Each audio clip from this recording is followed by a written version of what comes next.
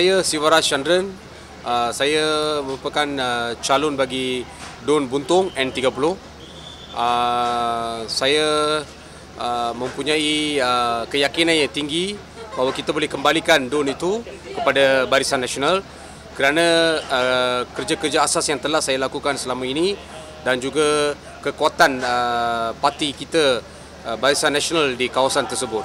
Walaupun kita kalah uh, uh, pilihan raya 2008 DUN itu kat DAP tetapi kita tidak uh, anak tirikan uh, uh, Dewan Undangan Negeri tersebut malah kita telah menamakan seorang penyelaras untuk terus berfungsi untuk terus menjalankan tanggungjawab beliau uh, supaya mempertahankan atau memperkuatkan atau memberi perkhidmatan yang yang konsisten uh, dari bagi pihak Barisan Nasional. Jadi segala perkhidmatan, segala yang kita telah usahakan selama 4 tahun akan menjadi satu kelebihan kepada saya kerana Barisan Nasional tidak pernah nak tirikan sebarang don uh, khususnya uh, buntung walaupun kita kalah di don itu. Malah saya juga telah uh, membentuk beberapa cadangan dan juga program dan juga perancangan untuk don. Itu jika saya diberi peluang, diberi mandat untuk menjadi wakil rakyat kepada kawasan buntung. Saya akan pastikan bahawa pembangunan itu uh, uh, berlaku di kawasan buntung di mana sekarang ini 10 tahun bersama DAP Parlimen, 5 tahun bersama DAP DOD, kawasan Buntung masih dalam keadaan yang sama.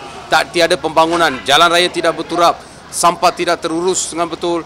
Banyak masalah yang belum terselesaikan, kadar jenayah semakin meningkat. Jadi saya harap kalau rakyat uh, masyarakat Buntung beri saya peluang kepada saya, saya akan pastikan bahawa mereka terjamin apa keselamatan mereka terjamin, pembangunan terjamin, masalah-masalah asas yang mereka lalui setiap hari akan diselesaikan oleh saya.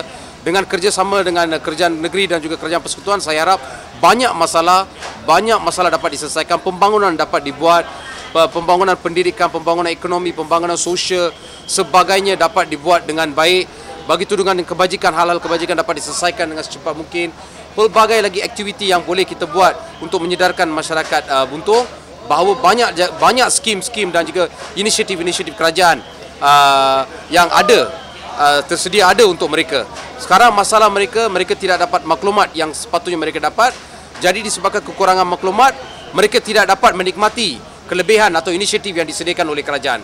Jadi saya rasa saya boleh menyumbang dari aspek itu dengan menyedarkan atau memberi uh, kesedaran kepada masyarakat Buntung khususnya apakah inisiatif-inisiatif yang ada, apa yang termaktub dalam aku janji uh, Perdana Menteri yang baru-baru diumumkan dan juga aku janji yang diumumkan oleh Menteri Besar kita hari ini. Saya harap dengan segala kekuatan kita segala kelebihan kita dengan uh, berkat Tuhan dan juga dengan kelebihan kita sebagai uh, kerajaan barisan yang sentiasa menepati janji saya percaya saya yakin kita dapat mengembalikan Dun Buntung kepada Barisan Nasional